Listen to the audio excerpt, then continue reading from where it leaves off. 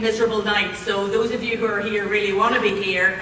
Uh, but we're gathering uh, for the third instalment of our speaker series, uh, What Does It Mean to Be Human in the 21st Century? Along with our partners, the Dock, which is Accenture's uh, Global Research and Incubation Hub in Dublin, uh, we launched this major new series uh, back in December. What it means to be human in the 21st century is a cross-disciplinary lecture series aimed at exploring the human experience of today, how we understand ourselves, our world, uh, and our place within our world. And so far, we have covered what it means to be human from a scientific perspective and the origin of life on Earth with the immunologist uh, Luke O'Neill. Then we looked at the human mind and its capacity to imagine new futures and the danger of fatalism with psychologist Ian Robertson.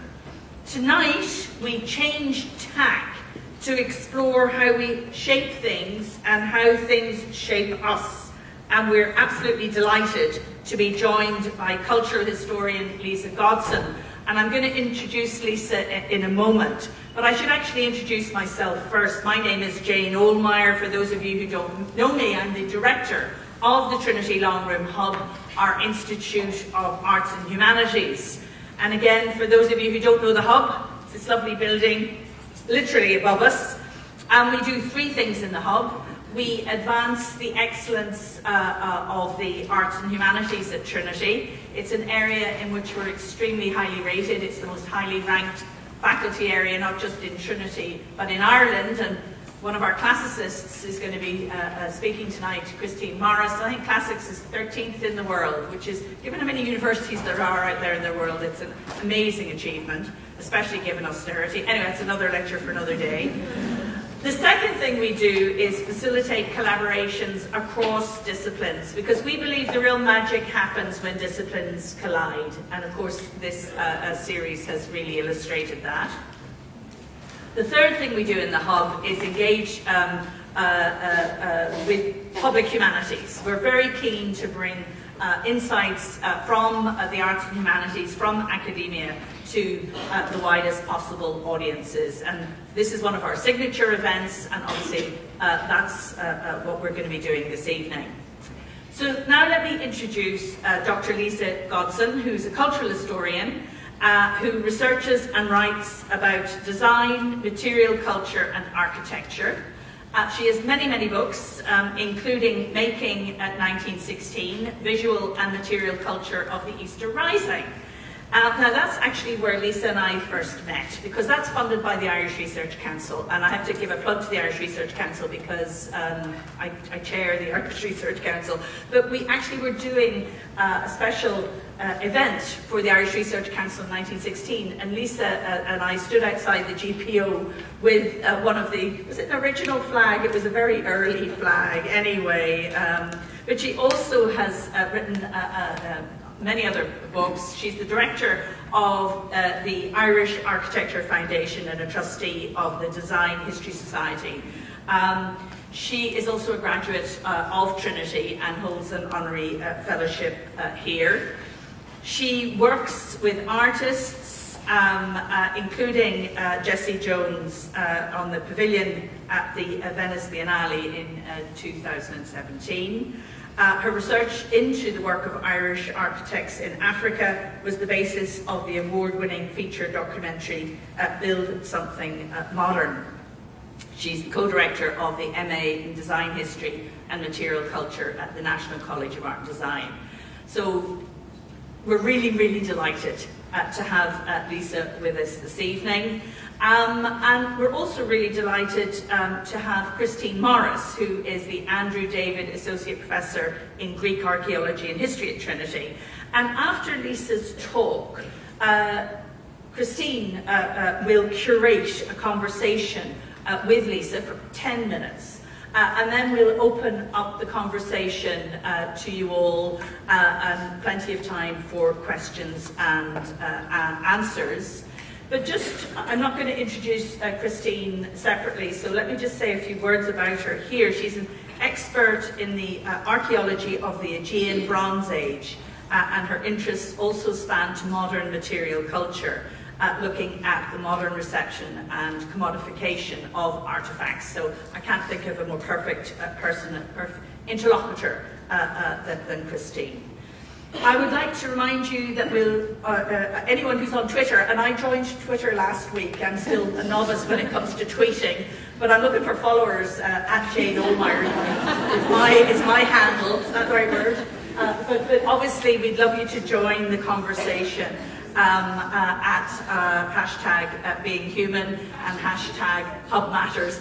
I'm telling you, Twitter is a whole new world. Anyway, let's try and trend. This is my goal. One day we'll be able to trend at one of these. Um, I also should just simply note that we, we, we're obviously live streaming this. We also will be podcasting it. So those of you um, uh, who want to share the talk this evening with others, uh, simply go to the Trinity Long Room Hub website and click on listen and uh, uh watch. So, without further ado, could I invite you all to join me in welcoming uh, Dr. Lisa Godson.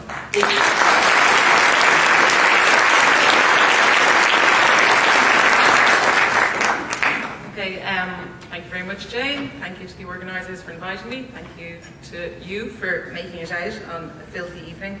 Um, it's really heartening to see so many people interested in material culture.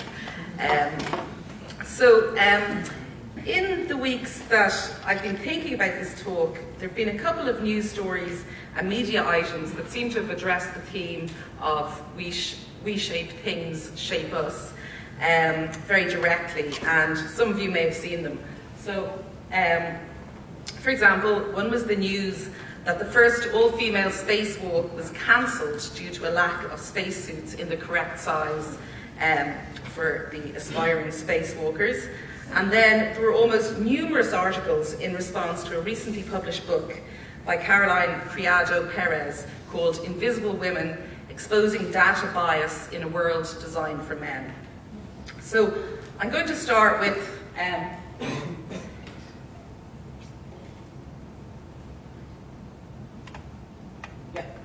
I'm going to start um, with the approach to material culture that Perez takes in her book which I characterise in terms of optimisation, uh, a term often used in design, in design practice, meaning the belief that the objects of everyday life should be as effective as possible in being used in the way intended. So, I'm going to look in particular at the crash test dummy and then at the vaginal speculum. So anyone who doesn't want to know more about the design of the speculum, um, you might want to leave now. Um, and I'm going, to, I'm going to kind of follow this pattern of maybe giving, giving an example from the broader literature and then giving a case study from my own research. Um, so although um, Perez didn't use this particular term, what I took to be the focus of the book was how the implied user and that's a really important concept when we're talking about material culture. Um, the implied user of objects, systems, and spaces is overwhelmingly, in the 21st century, what we might call a normative male, and how that in turn makes much of the designed world inappropriate and even dangerous in some cases for women. So, to take car safety as an example, um, Perez noted that, here's an image of um, book, and here's Perez. So, to take car safety as an example, Perez noted that in car accidents, although men are more likely to be in accidents, 47% of women were more likely to be seriously injured than men, and 71% of women were more likely to be moderately injured. So she traces this back to the crash test dummy. Um, and we see her here tweeting um, about the appearance of an article in The Guardian about her findings, and there was you could barely escape this um, this book over the last uh, two or three weeks. Where should I be pointing this? Oh. Um, okay, so she traces this um, this um, this strange statistic of how most more men than women are in car accidents, and yet women are, are more severely injured, um, to the design of and the use of the crash test dummy. As we know, these objects, properly called anthropomorphic test devices, or ATDs, allegedly simulate the human body and are typically used to generate data about what happens to the body in various kinds of car crashes. And this data is then used by vehicle designers to design in safety features in cars. Um, on their introduction in the 1950s as a way of testing car safety, um, it was decided that the typical crash test dummy um, should be based on anthropometric charts like these.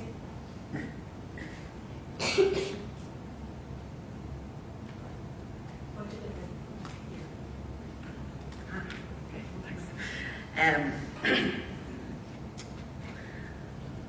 and um, any designers are familiar with these charts. This is um, why the world is scaled as it is, is according to these charts, um, which measure, you know, the, the typical um, man and woman. And it's another one, and this is um, the typical human in driving position. And you can see all the different tractor backrest, um, minimum lumbar support, etc., etc.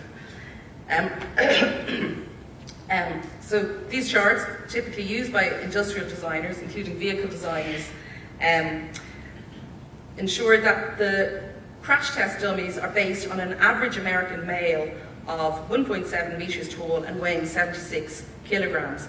But Perez noted that EU regulatory crash test requirements involve five tests, none of which require a female crash test dummy. And in fact, only one test of these five uses um, kind of female dummies, but they're always tested in the passenger seat rather than in the driving seat. And are just a scaled down male dummy, and as such don't take into account women's lower bone density, different vertebrae spacing, and so on. As such, women are treated as what's called out of position drivers. Um, they sit further forward, they sit more upright, um, and as I said, they have different kind of body mass and so on and this clearly compromises their safety. Um, although a Swedish designer has made an anthropometrically correct female dummy, this is as yet dependent on crowdsourced money to realise. So this, I think, pretty shocking data gap, as Perez calls it, in terms of actual information that designers can use, or a narrowly defined implied user um, then is figured as one reason why women are always far less safe in cars than men are. And she draws on numerous examples, including drug testing, including the design of toilets, um, uh, the organisation of space, um, and the design of numerous kind of everyday objects. If, um, as I'd suggest, we both shape and are shaped by the world, the seriousness of shaping the world around only one kind of user um, seems abundantly clear.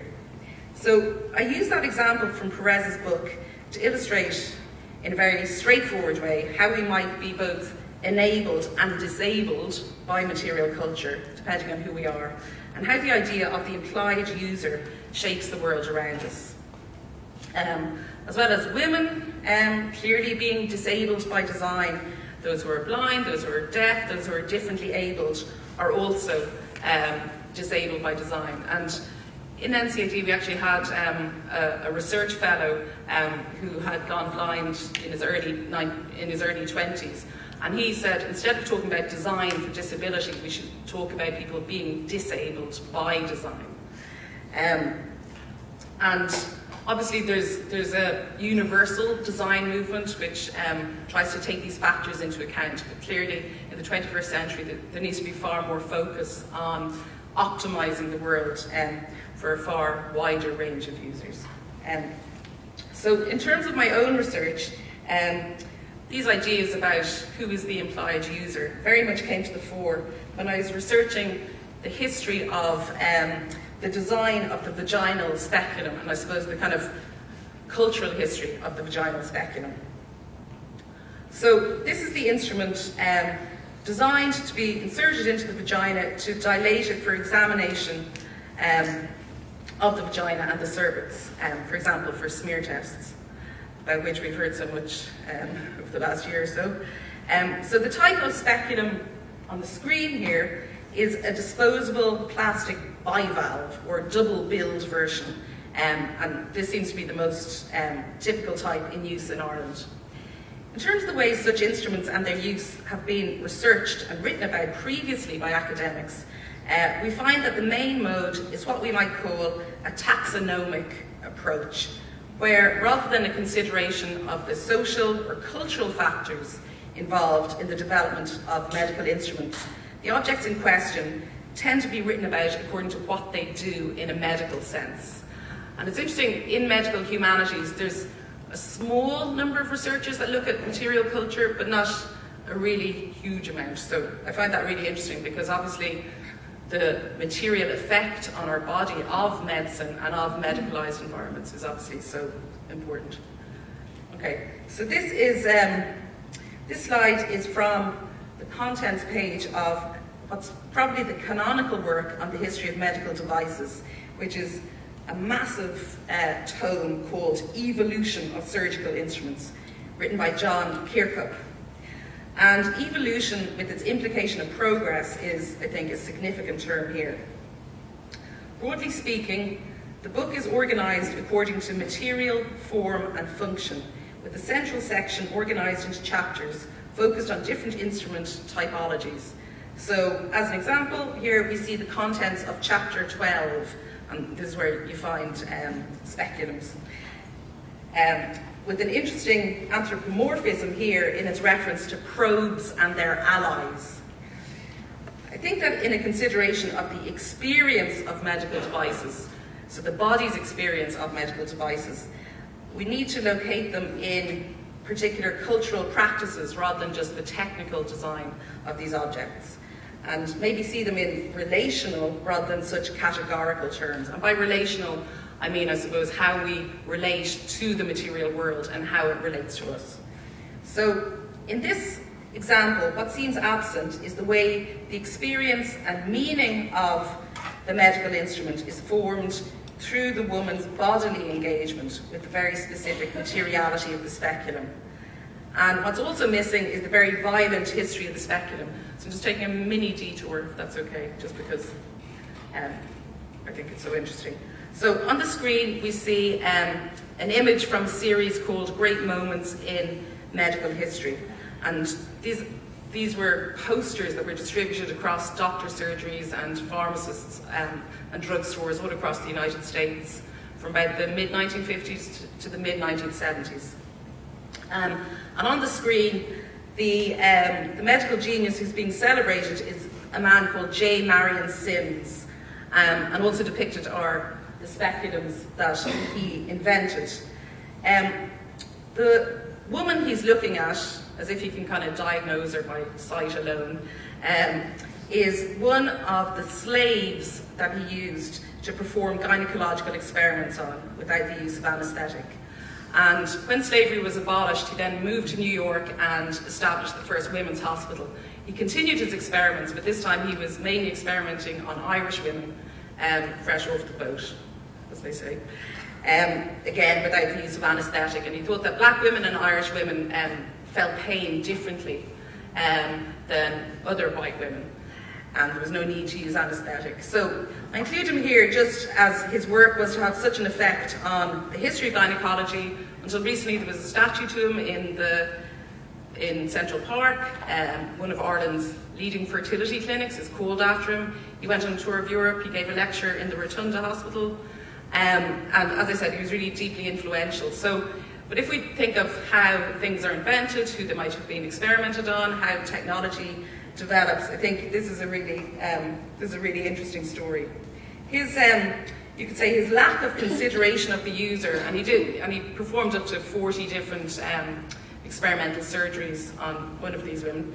Um, is speaks of a kind of dark history of this particular object, and it gets much darker, but um, I, I, don't have time here to go into it. But um, the um, but if we think of kind of the material culture of the speculum, it became a focus um, during second wave feminism um, of empowerment, and I suppose of the user, an attempt, if you like, to shift the user back to the woman. And so this is um, an example from um, Sister, a magazine of the Los Angeles Women's Center um, from July 1973, and the idea that a speculum wasn't just for the hands of the doctor, but should also be used for, for self-knowledge, and there's a centre that used to distribute speculums, torches and mirrors um, to women.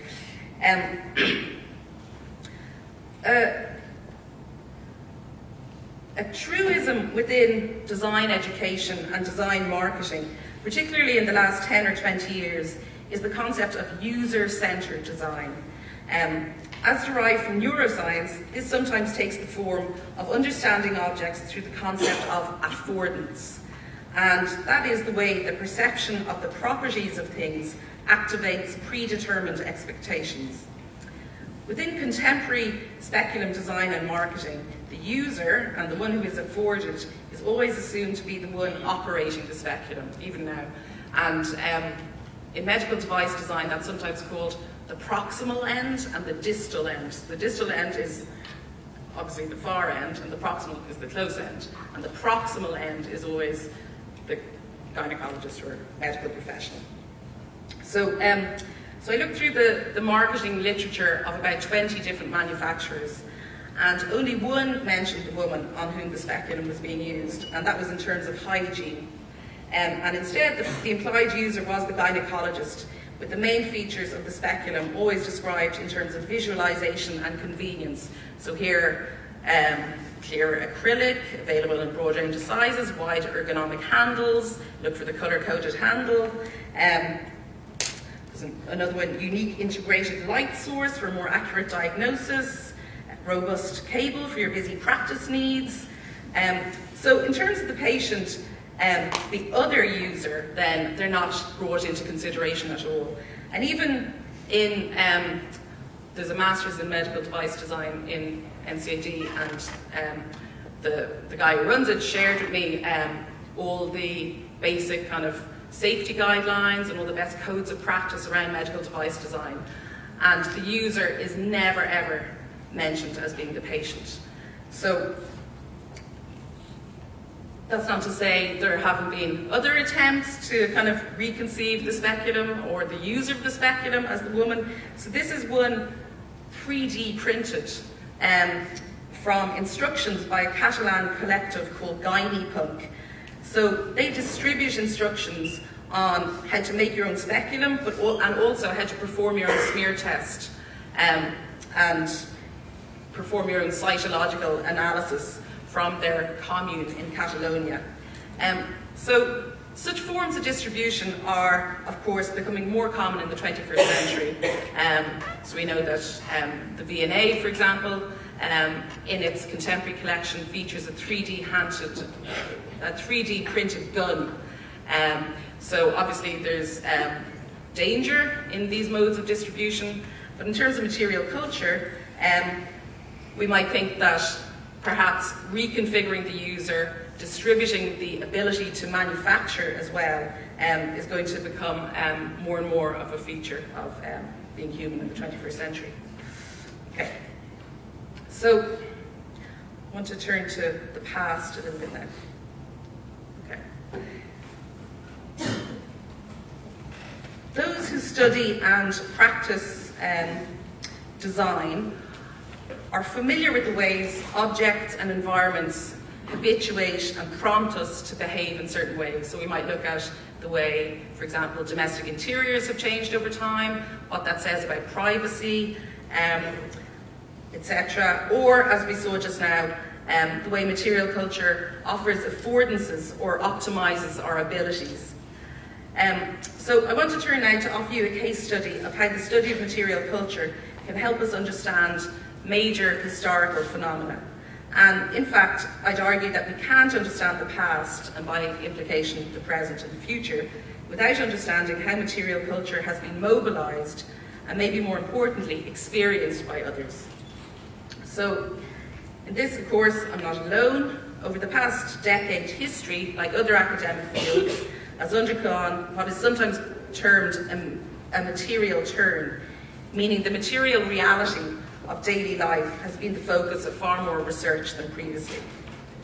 And often this could be a little superficial. We're all familiar with the history of something through 10 objects, or 50 objects, or 100 objects. Um, and too often objects are treated as a quick visual kind of stimulus, as a departure point to address um, kind of the real history. But I just thought it was worth sharing with you an example of a really in-depth project um, that tried to address the centrality of material culture in a major change in Irish historical experience. And that's what's called the devotional revolution um, of the 19th century. So, okay.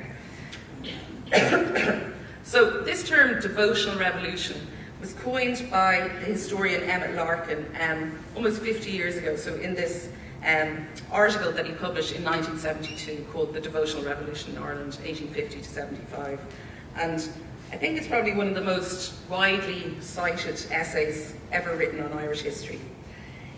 In it, he argued that after the famine of the 1840s, Irish Catholics underwent a revolution whereby there was a massive increase in religious personnel, such as nuns and priests, in religious buildings, in particular churches, but also um, denominational institutions such as orphanages, industrial schools, hospitals, and so on. Um, and in attendance at Mass and other sacraments such as confession and so on. And he kind of characterized this as a revolution. And he said, so through this, Irish Catholics became, as was the case when he was publishing his essay, the pious and orthodox faithful they are to this day. So this is 1972. Um, Larkin did mention in passing, and this is a quote from it, um, the distribution and use of devo devotional tools and aids, beads, scapulars, medals, missals, prayer books, catechisms, holy pictures, and Agnus Dei. But he just mentions them in passing, he says, and alongside all this change in um, religious personnel and building and so on, there were all these objects. So he didn't offer any kind of hard evidence though. So part of my research into the devotional revolution was to try and test his hypothesis that there had been this massive change in Irish Catholic experience um, against material evidence and kind of take material culture really seriously. Um, so part of that research involved the transcription and analysis of all the ads in the Irish Catholic Directory, which was this gazetteer that probably had more ads for religious goods than any other publication in the 19th century. So anyway, I transcribed all the ads from 1838 to 1898, so a six-year period. I think there were roughly 7,000 ads, so um, it felt like it took 60 years to do it. Um, and then took another 60 years, it felt like, to kind of analyse it and make sense of all this data. And this is kind of what I found. Okay, so This is um, kind of trying to periodise what kind of objects are being advertised and then I kind of try and go and find other evidence and try and support what I was finding. So I found that in the 1830s, 40s, most of the ads are for vestments, altar plate and books. The 1850s, we have the introduction of devotional objects for the laity. 1860s, church furnishings. 1870s, there's much more specialisation, so you have church bells. Um, incense, uh, communion bread and so on. And then the 1880s, we have patented goods. So I suppose, um, just really quickly, um, I thought it was worth kind of following the arc of this time period, um, just to try and understand maybe what this developing experience of the material world might have been like for Irish Catholics. So if we look at the 1830s and 40s, when with these really um, I'd say 90% of the ads are for vestments, um, altar plates and books. Okay, so like this. Um, okay, so it's, it's kind of not surprising that these were the first objects that were um, being advertised for a church that was supposedly undergoing reform or there's much more church building. And in particular where there's this big attempt to kind of bring Irish Catholics into line with the rest of Europe and try and make them um, kind of more orthodox, if you like. Um, these were the basic tools with which Mass could be celebrated and the sacraments administered. So in terms of material experience for Irish Catholics, we might call this a time period of systematisation um, partly through these objects. As ritual objects that were part of an interlocking system, each item of vestment and each item of plate had a clearly defined function that was central to the efficacy of the ceremony with which they were performed. And they were also really specialised in form under the regulations of the Roman Missal. So that dictated, for example, the chalice should be at least eight inches in height, and their kind of substance and manufacture um, were also governed by rules regarding the materials they're made of, the ways they might be handled, and who is permitted to make them. So, for example, the, the chalice had to be made of gold or silver, the pattern, if made of anything other than gold, had to be gilt on the concave side, and only by way of exception, in case of extreme poverty, might chalice be made of stannum. Um, which is this alloy of tin and lead, although the cup still had to be gilt on the inside, and those made of glass, wood, copper, or brass are not permitted. And this is a time when there's um, when universal primary education is introduced to Ireland, and although it's supposed to be non-denominational, um, it's when the catechism is introduced to Irish Catholics in a really widespread way. And in the catechism, we can see that Irish, school, Irish Catholic school children are supposed to, to, under, to learn off by heart what is the meaning of these objects, what should they be made of, and why. So they're actually learning, they're actually kind of acquiring all this knowledge about material culture and about the correct um, mode of religious material culture. and um, I would I would think that this is a way that the material world is being systematized um, and that in terms of post-famine Catholicism, it suggests that duty and the systematic following of rules, um, including the correct use of objects, could lead to salvation. And this is a time that you also have um, the, the widespread sort of attachment of indulgences to, for example, um, using holy water, blessing yourself, saying prayers in the correct way, and so on. Um, so I think this that material culture really helped centralize religious power in the persona of the priest and in the power of the institution. Um, the next phase, I'll go through this quickly, um, as identified in the ads and supported by other evidence, um, involved the distribution of religious goods for the laity. So up to the late 1840s, mainly got these ads, um, and they'll say things like for priests or for communities of nuns. In the late 1840s, suddenly you see objects being advertised for the laity. Um, for example, in particular, rosary beads and holy pictures, but also candles. So, um, this slide then is kind of typical of the ads that I was transcribing. Um, and this is from the Irish Catholic Directory in 1853.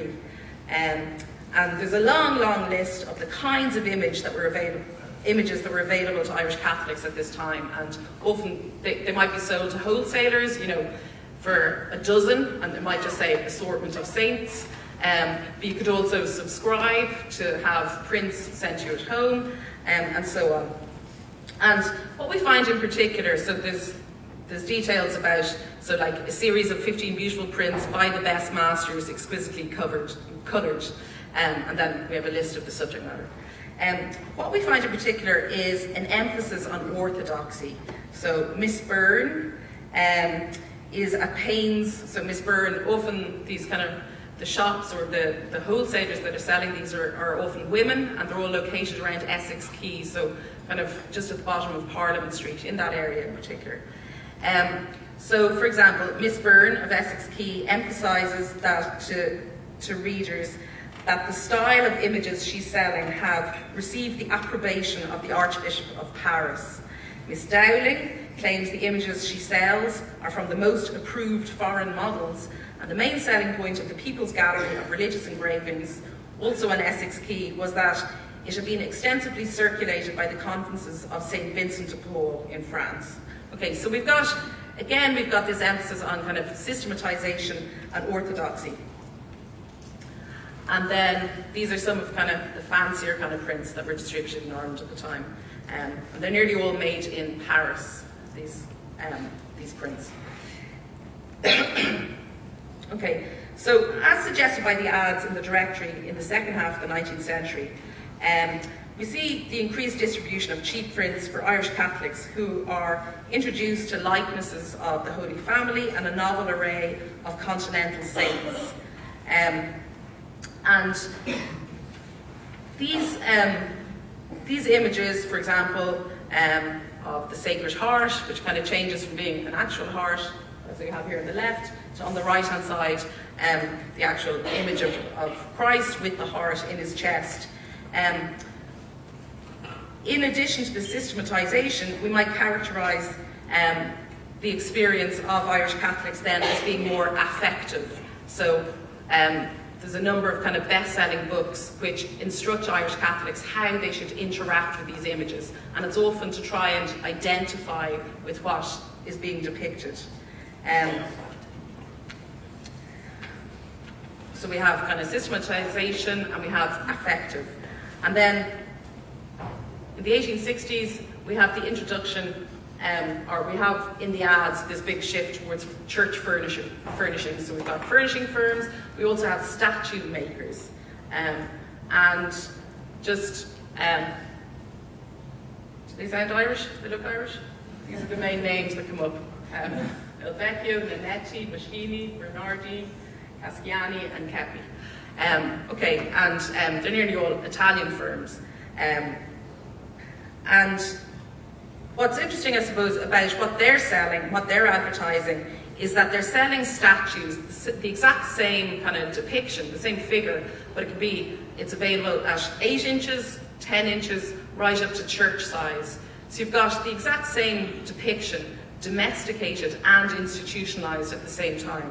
So I think what this kind of suggests in terms of the material culture of Catholicism at this time period then is a sense of immanence like identical religious goods um, could be in both the church and people's homes. And then by the 1880s, you've got patented goods. So this slide here shows um, an altar bread baking oven and then Harrington's fragrant incense for, for the altar, um, specially prepared um, in Cork. And just to say that, I just didn't want to leave it out, um, but basically, as with the quote from Ulysses on the previous slide, um, religion pays. Um, I think studying the material culture of Irish Catholicism this time is also really important in terms of kind of a business history um, as well. And um, we can learn something about business history and industrial history, as well as the shaping of mentalities and the material world, um, which was so dominant um, for so many people in Ireland um, for probably 150 years. Okay, so for the final part of my talk, I want to turn to a consideration of the materiality of process. So how things are made, where things come from. And my two examples, they don't have a lot in common, but um, are a toaster and then Irish architecture in Africa in the mid-20th century. Okay. So um, this is an image from a project that um, when I show it to students, they really, really love it. And um, so on the screen we see a simple toaster costing, I think, £3.94 pence. So this is an English project um, in Asda, and purchased by the designer Thomas Thwaites. On the right-hand side, we see all the different components of the toaster. So he bought this toaster and then completely dismantled it. In kind of looking at it, um, he reflected on uh, all the human ingenuity that had gone into creating this object. And you can see, and all the different materials. And I suppose, um, rather madly, decided to try and make his very own electrical toaster. Just from scratch, or from, sorry, completely from scratch, using just the technologies and materials he could access himself. Okay, so First of all, he attempted to extract iron ore from a mine in Scotland. He found copper in a river. He made his own plastic from potato starch. He made a mould from a tree trunk. And then using a leaf blower and a bin, um, and he tried to smelt the iron ore and then finally he used a microwave to complete the process. He found a patent online that said you could extract iron ore um, using just a domestic microwave um, on full power for an hour. And um, seen the film of it and it's really alarming to this big lump of iron ore and metal right in the middle of a, of a microwave. It was glowing and sparkling and so on. Um, and this is the result, and the result of the book is And um, he actually uh, he actually put it on the shelf um, in Tesco's and um, or in Curry's or some electrical store, and all the toasters around it were, you know, three ninety nine. The value range was two ninety nine. The fancier ones were sixty pounds, and his one I think cost something like eighteen hundred pounds. how much money he spent on it. Um, and he did plug it in, but he wasn't able to insulate the wires. He said that uh, Kew Gardens wouldn't let him go and kind of hack into the rubber tree, um, so he could insulate the wire. Um, so he plugged it in. There was 40 volts going right through um, through it. The element burnt itself out, but it did manage to toast for a few seconds. So he considered it a partial success. Um, so while in some ways uh, kind of a silly and slightly playful project, I think in terms of what it means to be human in the 21st century, it's a really, really, uh, it's a really clever and really serious project um, because it draws attention, I think, um, to how alienated from the material processes by which the objects of daily life come into being, how alienated we are from those processes. And of course, the ways that um, of how we consume material goods threaten the environment. Um, and I think definitely for the 21st century, it's kind of obvious, but I think it's only by being attentive to the actual material processes by which things come to be that we can fully understand how we both shape and are shaped by the world. Okay, and then kind of final quick case study um, addresses this. Sorry, just Okay. Um, and this is the, the phenomenon, um, almost a kind of hidden history, of Irish architects who produced work in Africa, particularly from the 1950s to 1970s. And Jane mentioned in the introduction that um, I, I undertook this research originally for a documentary film that came out in 2011. And um, again, a bit, bit, of a slow worker, but I've recently published an essay about it um, in a book on modern religious architecture. Okay, so on the screen then we see some examples of this architecture in Africa, um, designed by Irish architects.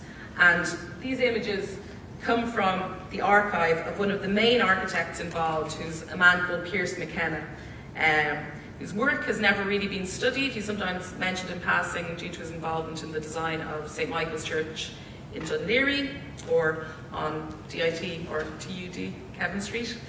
Um, and he's just one of a really, um, I, in trying to kind of research this, I put a quote out through the RIAI, so the professional body for architects, through the Architectural Association in Ireland.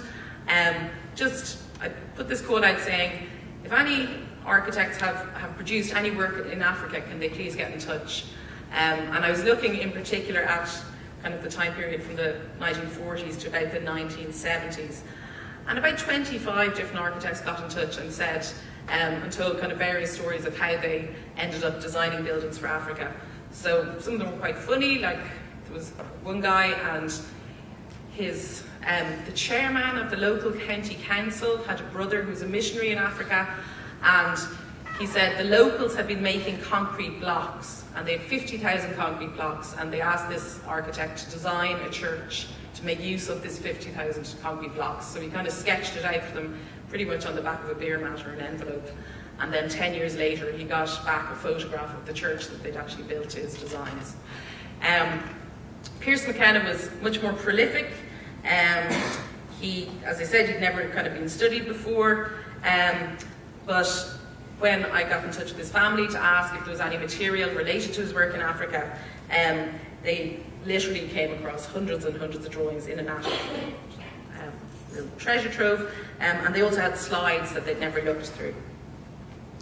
Um, so we found out really that McKenna was responsible for literally hundreds of churches, hospitals and schools in West Africa from the late 1940s to the late 1960s. And these were all commissioned by Irish missionary orders.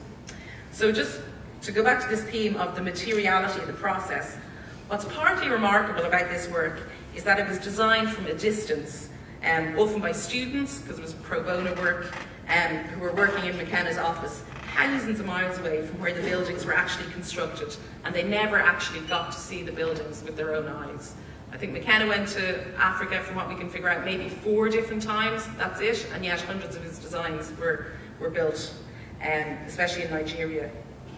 But, so this kind of, this distance and this way of working um, partly accounts, I think, for how innovative a lot of this work was. Um, and this is an example. This is a church at Uyo in Nigeria um, under construction in the late 1950s.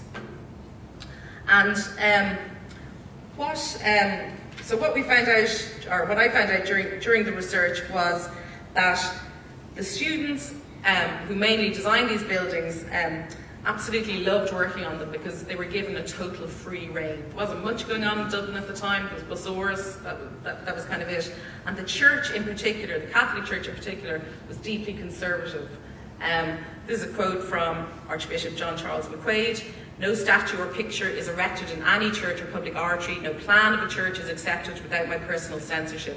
And he was very notorious for interfering, for example, in um, architectural competitions. This is um, Church of the Immaculate Virgin Mary of the Miraculous Medal, Clonskeagh, Dublin. Um, and the actual winner of the competition to design that church um, had designed a very modernist scheme, and John Charles McQuaid interfered and got this kind of very conservative um, architecture built instead.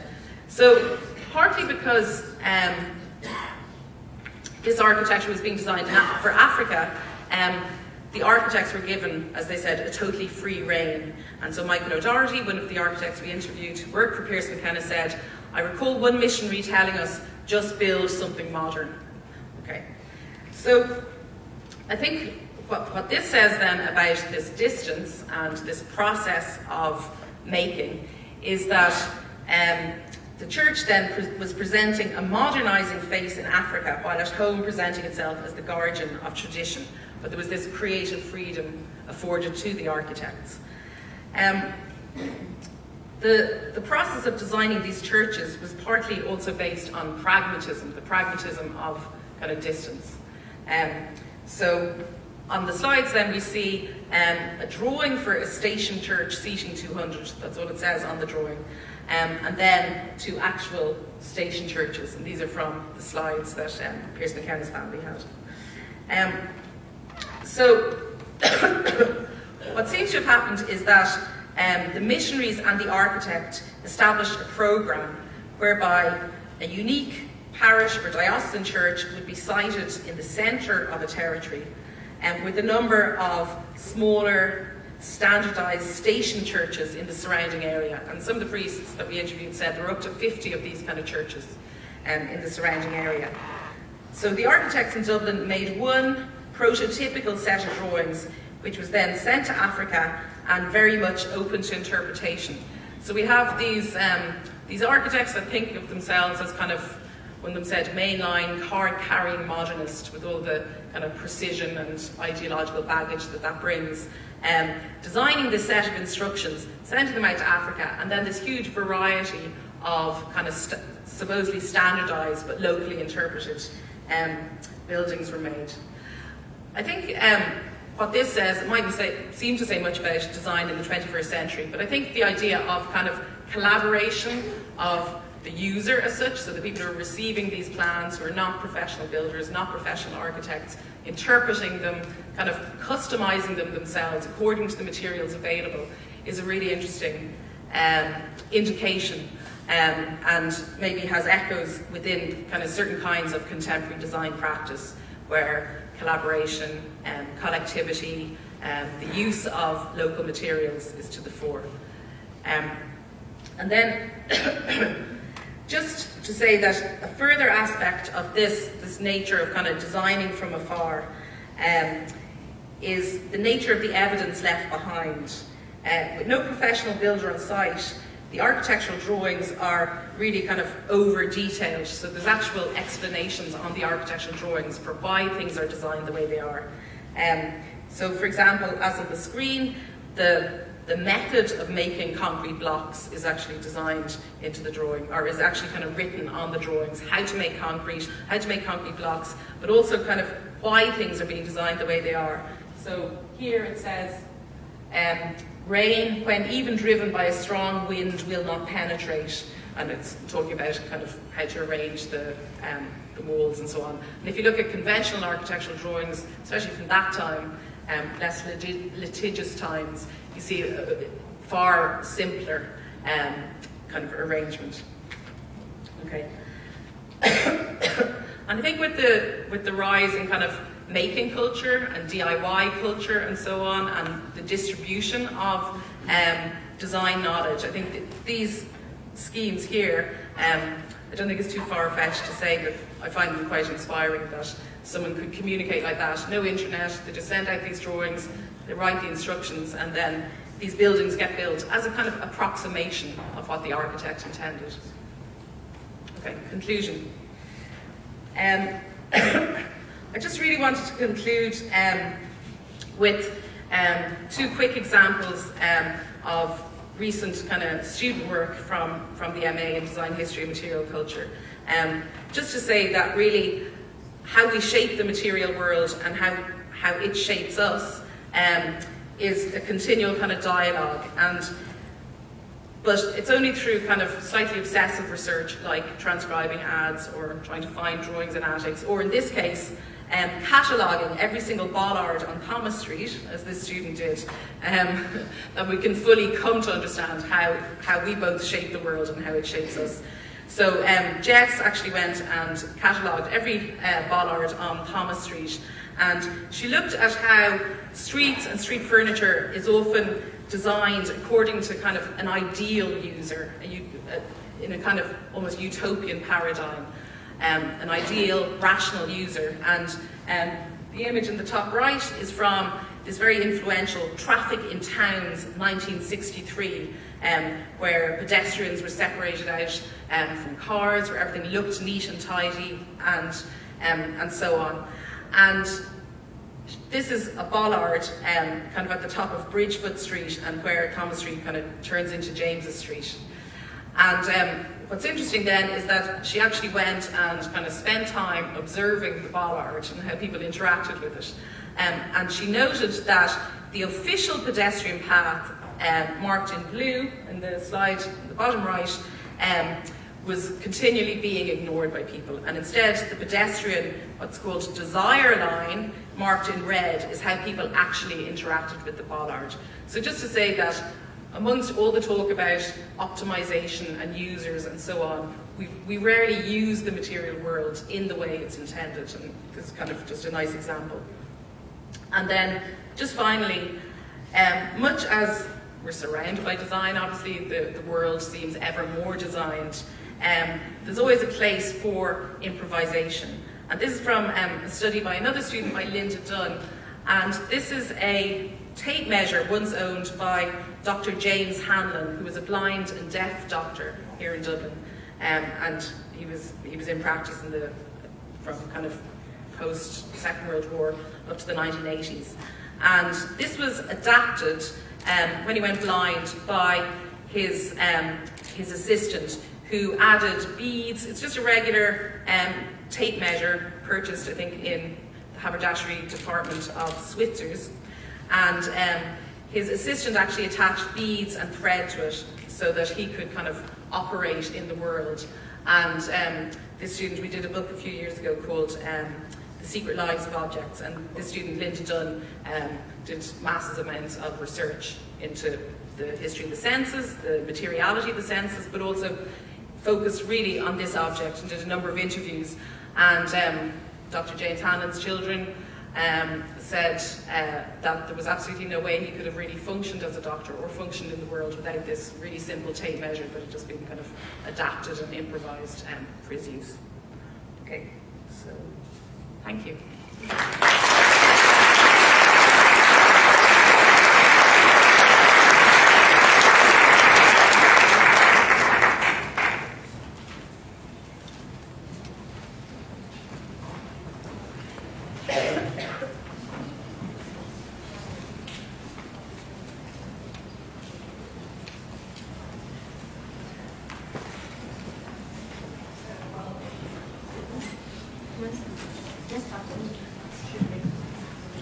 Please.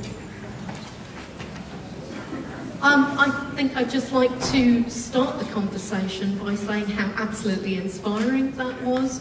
As Jane said, I'm an archaeologist. I study very old objects and things. In fact, archaeologists, as you'll know, only have things to work with. So the idea of a material turn, as Lisa um, has said, uh, which spreads across other disciplines like history, anthropology, design, uh, is a really exciting kind of uh, space between disciplines.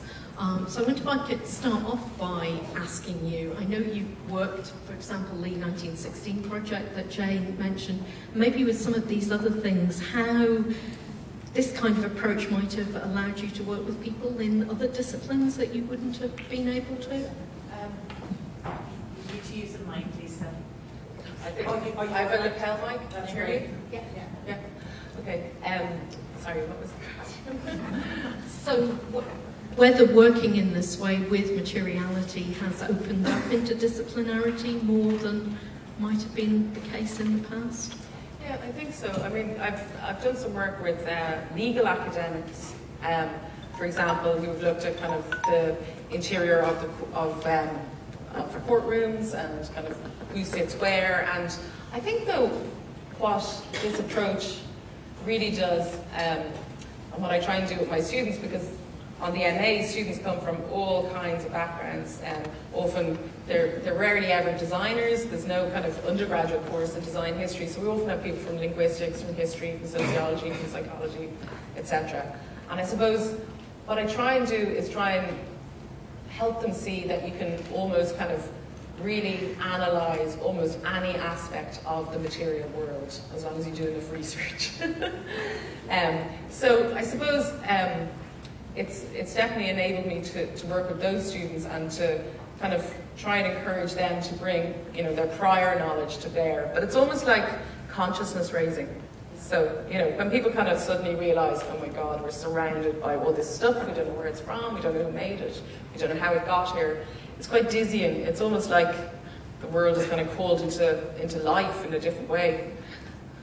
I think that's absolutely true, and um, we did the same thing. We were talking, having a little pre-conversation on Friday, and we found that we were doing almost exactly the same kinds of activities. So I make my students write object biographies. They're archaeologists, but I make them go and bring something from home. Um, some modern stuff to think about it in exactly that way. And I mean, I certainly hope everyone will go home and look at their toaster or other objects. So, I mean, that, that, that our, our kind of blindness and lack of sensitivity to materiality is extraordinary. I mean, um, obviously, really. if we took it seriously, we, we, we mightn't consume as much as we do. There, there is that. But, but also, I suppose what, um, so that's what, it, what I didn't talk about there really is, um, in terms of the 21st century, is the whole issue of hoarding and um, and how we acquire objects and when we let objects go and so on. And I think that will be definitely um, that's definitely a massive issue. Is how much do we want physical artifacts um, and how much you know since we live online so much of the time. Um, will physical artifacts kind of retain their kind of aura for us? And I think the answer is yes. I mean, there's been such a shift to analog, for example, like graphic design students. The letterpress studio in NCAD has never been busier. Um, photography students, you see them going back and, and reusing 19th century photographic techniques. So kind of, I think that relationship to materiality is, is really interesting. It's bit like the idea that, you know, we thought vinyls were gone, but they've come back and so on. You mentioned the word aura, so I wanted to kind of pick up and relate that back to the 3D printing that you mentioned, because yeah. the other thing, we're living in this kind of um, digital, virtual world, but at the same time we can create actual objects of virtual things. Do you think that they have a kind of problematic relationship with materiality or authenticity? We sort of in a strange space about whether those things are authentic or not? Um, I think that, I think I think if they, if they exist, they're authentic anyway. Um, I think there's way too many of them being made. I mean, somebody told me the term crap project crap objects, which is basically all these test pieces, especially if they're um, they're, they're not sustainably made. And I think I think, I mean, I think obviously mass production and identical objects has, uh, you know, for, you know, since the Industrial Revolution, or maybe since the invention of printing, there's always been, you know, you could, you could go back and analyse that and, and wonder, is it problematic? I don't think so. I think um, objects become individualised and personalised in so many different ways. So, I mean, through the idea of object biographies and, and that kind of thing. Something else I was dying to ask you about because I also studied ritual 4,000 years ago, so a long time ago. You're talking about ritual objects, and I'm so taken by the decade in which the objects for people, for the laity, became more common, mm. and it looked like it was a, an attempt to sort of control or silence the kinds of objects that people were using. Is there an opportunity for objects to be subversive as well? You know, to use the wrong kinds of objects in ritual? Um, yeah, well, if you've ever seen any schlock horror films where uh, black mass and so on, um, yeah, I think so. I mean, I think, I think that you hear these terms, um, kind of open systems and closed systems. So obviously, this um, this really tight control of the materials, of the way things are made, of how something becomes sacred, how it becomes unsacred, and, and so on. Um, at that time period, that's obviously a very kind of tight, closed system. And some people would characterize, I mean, there's a very famous Umberto Eco essay where he says, like, PCs are Protestant and um, Apple Macs are Catholic. yeah. um, and I think and I think that idea, you know, if you have a, I mean, recently I had a real disaster with my laptop and um, I had to bring it to data recovery place and they said, oh, Apple has, um, have stopped us being able to even recover data. We have a guy in Russia working oops, on a way of um, uh, working on a program which would enable us to, to access it. Um, and that idea that you can't actually get in and fix your smartphone or fix your your Apple Mac and the kind of the right to repair. There's a, a law, the right to repair, in a number of the states in America um, that Apple have kind of uh, that you know that Apple have been prosecuted under. And that's very much, I can't remember the original question, sorry, but that's very much a kind of a closed system, you could say then. But I think the idea of kind of an open system is also being embraced in parallel with that. So you've got projects like Phonebloks, which is um, this idea that you make a kind of modular mobile phone and you can add more memory if you want. And just again, the, the issue of kind of the excess of goods in the world um, and so on. So do you think if, if we characterize the devotional objects as a closed system, right. does that suggest something about the church's perception of objects as having potential power to mislead oh, yeah. people? Well, I think that, um, I mean, what's happening, you know, in that period after, you know, the 1850s onwards, is you've got this kind of, um, you've got this upsurge in manufacturing techniques and mass production. And so with mass production, obviously, then you can kind of control imagery and you can control visual depictions. And the, you know, the Council of Trent, um, what it says about um, religious images is that people should not worship the images themselves, but the prototype to which they refer. So there was a kind of a danger of materiality, as in sort of maybe a particular statue acquiring particular power. But once you have mass production and you have the same depiction of, you know, the Sacred Heart hanging in your, on your kitchen wall, in a statue, in the church, um, and so on, you would think that even though there are more material goods, um, the materiality itself becomes less important and there's less danger of fetishization and idolatry, I suppose, really, in a religious sense. So you've got this kind of funny fusion of kind of mass production, mass circulation techniques, mass transport, and then this um, very tightly controlled kind of material culture. Yeah. That's, can't resist talking about the speculum bit. I mean, that was just an extraordinary example. So again, one of the things that archaeologists spend a lot of time doing is making taxonomies and right. yeah. ca characterising things. And I thought it was so interesting the way you described the way uh, that they're trapped in that kind of way of thinking about objects, rather than if you use those ideas of biography, production to consumption, and you think about all the consumers and the stakeholders, that they're really not doing that, that the actual people um, that they're being used on are, are, not being thought about at all. That the medical yeah. kind of mode is, is trapped in, in that. And even, in the, very even in the code of practice, I mean, you know, like looking through all the kind of legislation around medical devices, and as I said, kind of there's an international professional organisation of medical devices, and, and they, reading through this like 300 pages of best practice,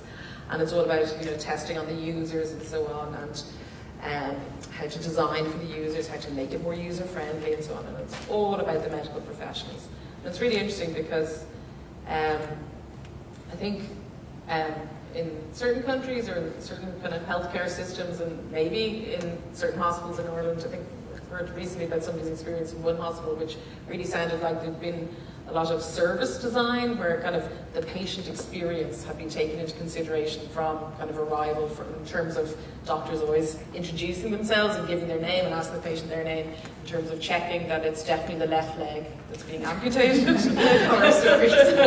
so on. And yet then you heard, I don't know, Joe Duffy over the last you know, it's just this litany over the last 10 days of how people were treated.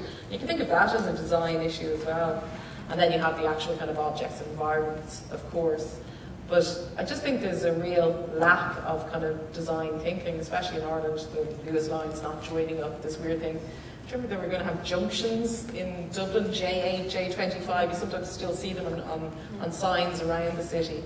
So I think that really kind of deep, systematic attention to all users is you know really sorely needed. But user isn't just and design isn't just an artifact, and the user isn't, as I said, somebody at just one end of the spectrum is person on the other end as well. So. Yeah. Well, it just seems like a really extreme example of, you know, we talk about stakeholders who are all the different people involved. It's a horrible term, I know, but, you know, it's an obvious stakeholder not being involved in, in the conversation. Yeah. Uh, well, it's interesting because speculum obviously means mirror and to look, and um, yeah, it's never you know kind of the other the other end with the feeling kind of um, user, and you see that kind of privileging of vision and visuality all the time. Um, in all kinds of material culture, or in the way material culture is described, and therefore how design happens. And thinking of the other senses, and if we think of universal design, um, that, it's another factor in there as well. That, that's a very interesting way of pulling in the idea of the tyranny of the gaze, that, you know, even the vocabulary we use, that, you know, we're looking at things, and if you think of all the verbs you use, they're all very visual things. Mm. And when you were talking about people being excluded from design, I, I, uh, through disability, I was thinking that in archaeology as well, there's this huge interest in all of the senses. And a colleague recently wrote a, a very influential book about the archaeology of the senses. Um, and we have a, a, colleague who's an examiner for us who, who's actually deaf. And she criticised it because she said he presupposed in the distant past that everybody was able, that they could see, that they could hear, and he didn't, even though he was thinking about all those things, he didn't include anything um, about that. So that's an, another stage in this thinking, it's already there in some of the things you've described. Yeah, and I mean, students I worked with in, I used to teach in the Royal College of Art, and um, I worked with for, for a while there, he went on to design um, environments for people with dementia and was in kind of in care homes to kind of support independence for as long as possible and also to support dignity. And it was really, really interesting. He designed these, um, like it wasn't just the kind of the technical aspects, but also um, the, um, he designed like tableware and bedroom environments and um, he made like sort of knobs very evident. He made these cups that looked like a child's drawing of a cup and he was saying that, you know, he worked with um, cognitive scientists on it and they were saying that the, the kind of the archetypal cup is probably the best reference point for somebody living in that kind of environment. They will recognize it as a cup for longer if it's designed in a particular way, whereas most, um, most of the times it's just scaled up versions of infant feeding cups that are supplied to places like that and therefore take away people's dignity and independence and so So yeah. Okay, I had one thing I wanted to ask you, um, which um, there's another aspect of, of, objects about the idea of an object not being throwaway or mass produced, the idea of an object being inalienable. Um, so that's probably a strange word for most people, but what it means is something um, that, that you feel so belongs to you that you couldn't imagine giving it away, throwing it away, disposing of it. So perhaps everyone would go away and think about what is, it's a bit like, you know, Gollum and my precious, my ring, the thing I can't give away. So it's a really mean question. Would you share with everybody one object that you would think would be inalienable and, and why? Because I think that gets to the heart of why objects matter so much to us. Well, I can tell you a funny story of um, a set of objects that to one kind of demographic group, if you like, were utterly inalienable and to another had to be got rid of. And this was um, when um, I was researching my master's thesis and it was about the kind of the design and material culture of the 31st International Eucharistic Congress, which was this big, this massive um, Catholic kind of festival um, in 1932, and it had always been looked at in terms of legitimising being in power, so very much from a political history point of view. And I couldn't find any objects relating to the Congress in kind of the normal places like the National Museum or whatever. So I wrote the Irish Times, The Independent, Ireland's Own, great, um, if you want some Catholic tat, that's who you write to, and said if, if any readers, this is in the 90s, and I said if any readers have any objects related to the Eucharistic Congress, can you get in touch? And um, I was staying with my parents, I was home from London for a few weeks, and I think we kind of broke the uh, phone answering machine, is that right, Mum? Um, something like 200 people got in touch and sent me Super 8 footage, diaries. So some people who'd been at the Congress were still alive at that stage. What was really interesting though was there were all these people who'd been at the Congress and they were saying, I'll allow you to come over and photograph my chair that Cardinal such and such touched, or um, my Sacred Heart that has souvenir of the Eucharistic Congress you know, printed on the bottom of it. Um, so there was one group, and, and, for them, these objects were utterly inalienable. They couldn't let them go. They were doing me a huge favour letting me even see them. On the other hand, then, I got think about 20 letters and number of phone calls from people who had inherited houses or come into possession through relatives of souvenirs from the Congress. And um, there was one woman, and this is very typical, who wrote to me and said, obviously I can't just throw it out, but I don't want this in the house. And so many people, and it was around the time Dear Daughter, Love Nicole Climate, all the stuff around Magdalene Laundries were first um, broadcast that year. The year I was kind of trying to finish my thesis. and um, and um, yeah, they, they, they, were just objects that were utterly alienable. Um, but they didn't want to sell them, so they couldn't really be commodified. So they were kind of zombie objects. They couldn't be, couldn't just be thrown in the bin. You can't just throw a religious object in the bin. At the same time, they absolutely couldn't have them in the house. So that was kind of that was a kind of neat illustration of how kind of bigger kind of historical occurrences really can get illuminated by people's relationship with, with material culture. Okay, I'd like to thank Lisa so much for uh, making materiality so much more obvious to everyone, and I mean, such eloquent and very moving examples um, of different forms of materiality. So I, I, do hope that everyone goes home and looks at everything, not just their toaster, differently. But I think Jane wants to open up the conversation yeah. and get your takes on things.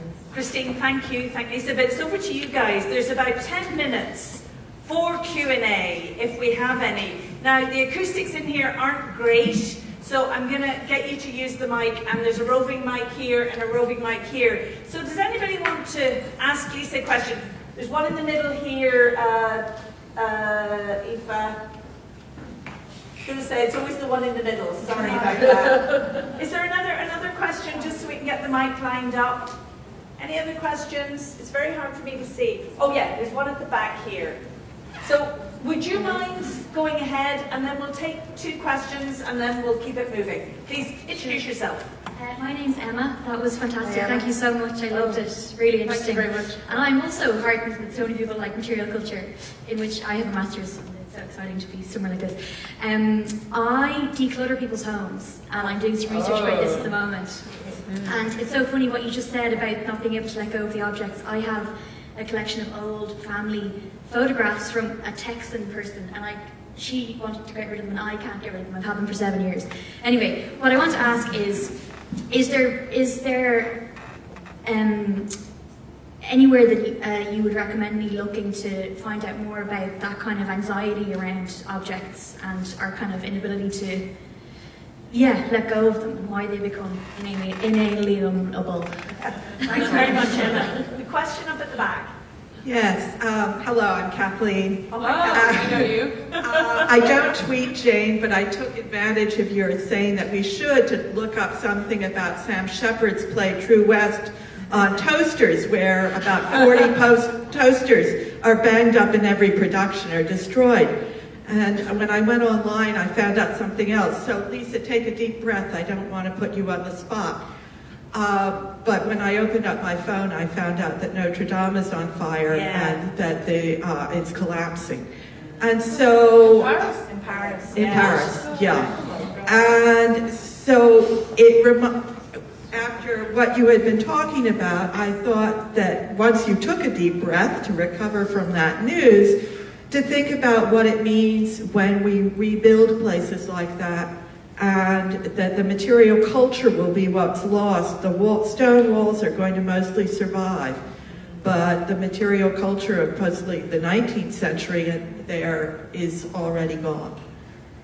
Thanks, Kathleen. I, I, I, just noticed it on Twitter, uh, so it's not fake news, it's really awful. The cathedral, it looks as if it's been completely engulfed in flames, so I know we're all just totally shocked. So you've got two questions there, Lisa. Um, one from Emma about basically the anxiety of getting rid of stuff, and then uh, Kathleen's um, hugely important question about the material culture that's lost. Please. Okay, so um, well, you could re read F. Weiner on um, inalienable objects. Um, Annette Weiner?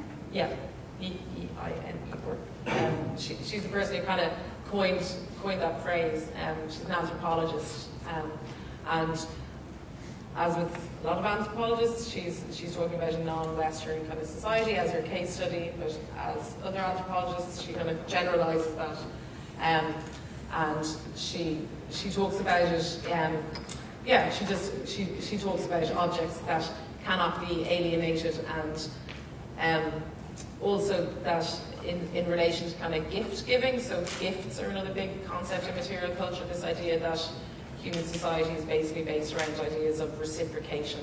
Um, whether that's kind of paying your taxes and expecting good healthcare, uh, or um, or how a kind of social circle might kind of stick together if somebody gives you something, you have to give something back, and, and that makes a social bond, whatever. But um, inalienable, as she defines it, is keeping while giving, um, which is that um, by treating something as inalienable, you're um, kind of asserting a certain kind of status. Is that right? Do you want to say more about that? You don't really know as much about it. No, no, I think that's absolutely. Oh, right, okay. Um, but there are, um, I suppose because I've looked a lot at Catholicism, then, you know, if you have, it, it doesn't have, something doesn't have to materially change to become common. And a really kind of famous essay on material culture, Igor Kopytoff, um, who talks about commoditization as process. And he kind of talks about how the same object can go through many lives and can become a commodity at one stage, which means it's general, it's not singular. So something that costs five euro is the exact same as anything else that costs five euro when it's a commodity. You know, um, like it could be 100 pencils, it could be 10 bottles of water. As long as they all cost five euro, then they're common to each other. But then you singularize something by attributing a different kind of value to it other than a commodity kind of value. But then something might be re-commodified, so if somebody dies, you can sell on their possessions, and therefore at that moment you're re-commodifying them. So that idea that you know, all our, our objects can go through these cycles of commodification and decommodification and so on. It's another good essay. Peter Stallybrass wrote this amazing essay called Marx's Coat. Um, and it's about, um, again, it's about that idea of commodification, but basically the kind of the shtick or the story that's at the centre of it is that when Karl Marx was researching capital um, in the British Library, he was also very poor and sometimes he had to pawn his overcoat to be able to get money to feed his family. Um, and at that stage then he was commodifying a possession. He was alienating it from himself. And the essay is partly about how in the 19th century that's what happened with goods a lot of the time. That's what happened with personal possessions. something could be, you know, your most dearly loved possession could be your wedding ring or whatever, but you, would have to realise its commodity value very frequently to be able to survive. And anyway, the, the story in this is that when Karl Marx has a coat in the pawn shop and it is a commodity as such, he can no longer go do his research into commodities um, because he won't be admitted into the British Library without an overcoat. It kind of says he's, a, he's foreign, he's Jewish, and he's got no overcoat. So in the 19th century, it's a no-no. He wouldn't be allowed into the reading room of the British Museum. Um, and it's only when he takes his coat out of the pawn that he can actually so when he re-singularizes it or decommodifies it, that he can go and, and do his research. And in, and in Capital, he talks about the difference between exchange value and use value, and he kind of says a coat is merely this much fabric, this many buttons, these many labour hours. But because of the way we treat material culture, where we don't just see commodities, where we don't just see use value, which is what something is good for, like a coat's good for keeping warm, but we attribute status, or we're encouraged to attribute status and all these other values that's no longer what a coat is within the commodity world of the 19th century. So it's a really clever essay that mixes all those things together. But wrinkles in, in clothes in the 19th century were called memories. It was, it was another term for wrinkles. So I remember that next time I don't iron something. Yeah. yeah, sorry. Question. About reconstruction, is it? Well, just when the loss of material culture. Yeah, I mean, I suppose there's a really inspiring, um, I think she was originally a geographer, um, academic called Kathleen DeSilvey. And um, she wrote this brilliant essay that all my students, and I see some of them here, are probably sick of me talking about, but thankfully she's, she's now written a whole book about it, so I can kind of bore on about that instead. Anyway, she wrote this amazing um, essay about curating a homestead in Montana, um, in the kind of northwest United States, where um, a lot of the objects inside had been kind of, had, were kind of on the way to becoming, she says they were turning from artifacts into ecofacts. They were becoming kind of slime and so on. And so what she, what she talks about is the way that we understand the material world and objects is in far too a fixed way because most objects are in a process of decay and, you know, would be, the world would be even fuller if everything was stabilized and in a kind of fixed moment. And I suppose that's, that's the nature, obviously, of, of conservation and of museums is they're, they're highly artificial because they're arresting the kind of natural processes that, that artifacts go through. So I suppose in terms of loss, if we kind of see artifacts as kind of going through processes rather than as fixed entities, I think that's kind of one way to handle it. And also to accept that we can't we can't keep producing and keep storing and so on, and, and things have to be let go, and that in kind of the death of objects, there's you know the ability for new objects or renewal or and so on. Um, Christine, do you want to come in here? Just, yeah. just chip in yeah. on, on, that. Uh, a couple of years ago, I was at uh, a conference. We were talking about 3D replication of objects, which we touched on. Um, and somebody from a museum in the UK said, well, we have a storage problem. I mean, you know, why should we curate and keep everything? And storage costs money were attached to objects.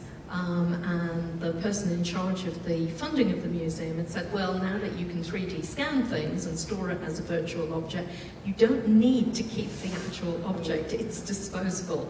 And every single archaeologist and anthropologist in the room went, oh, that, that's a dreadful idea. So that's our attachment as scholars to objects. But you know, that, that could be a future thing. So, I mean, another thing, I mean, I'm thinking an absolutely awful thing that happened earlier this year, of course, was the burning down of the um, museum in, in Brazil um, and the loss of objects. And one of the things that's sort of helped them move forward from that it has been collecting photographs and creating 3D replicas. So I imagine with Notre Dame that there probably are lots. Of, it doesn't bring the original back, but there are probably a lot of records that will allow them to, to replicate and store things as well. Yeah, I mean, that, that's the danger of studying material culture. Then you see everything as material culture. You don't want to let anything go. At the same time, you see a kind of equivalence between things and so you're, you're less precious about things in other ways. So it's kind of funny. Yeah. I think one last question. We're sort of running out of time, please. A, a, very quick thing. Um, BBC Four late at night in the last week or so had a series about the art of living in Japan, and it's just to say if people see it come up again, it absolutely blew my mind about how people so, see things and recognize objects in a different way. And one example was a master carpenter explained why Japanese saws are used to pull towards you rather than to push against, and why a wood plane you pull towards you instead of push against. What the philosophy of it was. It's mind-blowing stuff.